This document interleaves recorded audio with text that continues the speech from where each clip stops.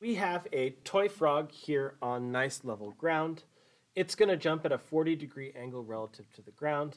And when it jumps and lands back on this level ground, it will have traveled 0.8 meters. What we want to know is what's its initial speed when it launches off. So we have here a nice graph of y versus x, and a very nice excuse to have the frog's initial position just as the origin. But we were told about the launch angle, and that's not part of this graph. We need to have a different graph where we look at Vy versus Vx. And if we look at this, and we have our initial velocity Vi, which we're trying to solve for, we don't actually have Vi in any of our equations, so we need to decompose it into Vix and VIY. So with this, we can take a look and we can see this 40 degree angle here. So our VIY is going to be equal to VI sine of 40 degrees, and our VIX is going to be equal to VI cosine of 40 degrees. Now that we have that, we can do our six graphs, but we don't have too much new information from that, and these graphs really have a lot. So let's go into our knowns and unknowns.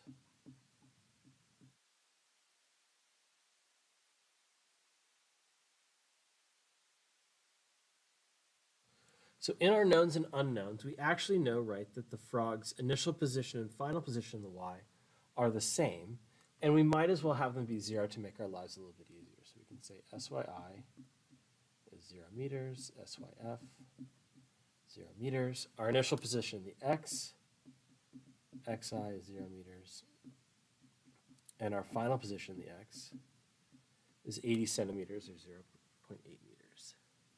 We know the acceleration in the y direction is negative 9.8 meters per second squared. And we also know that the acceleration in the x direction is going to be 0 meters per second squared.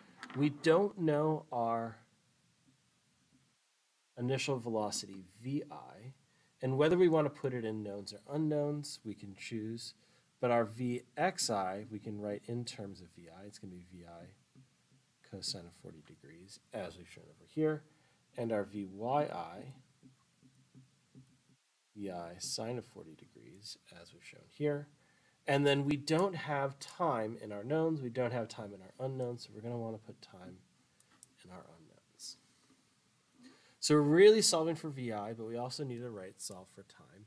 We don't have anything involving final velocity, and we have a lot involving positions.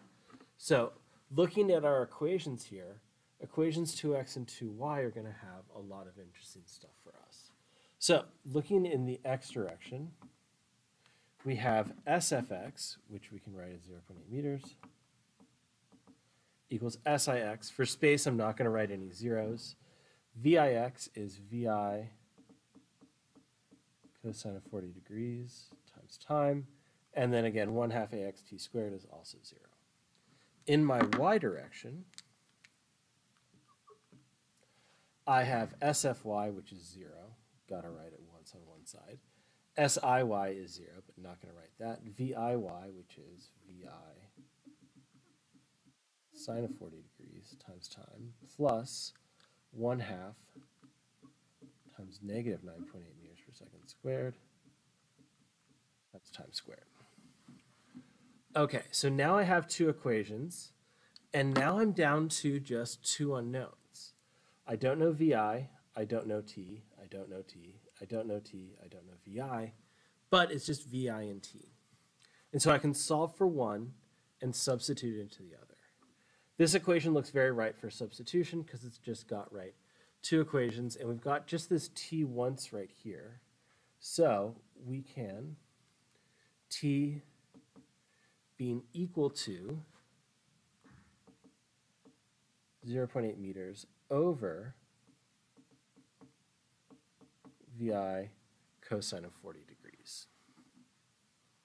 So that's great. That's looking good here. Over on this side, we can divide by t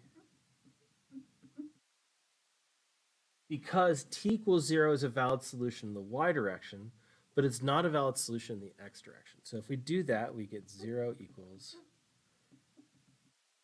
vi sine of 40 degrees minus 4.9 meters per second squared t, or we can say, right, 4.9 meters per second squared t is equal to vi sine of 40 degrees.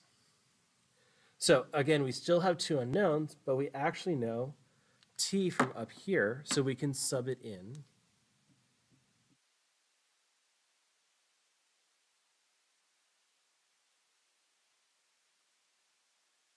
So when we do that, we have 4.9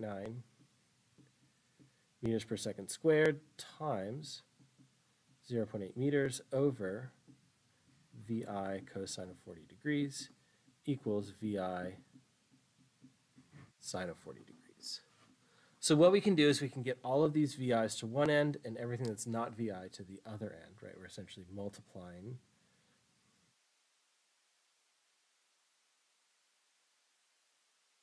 by VI and then we're dividing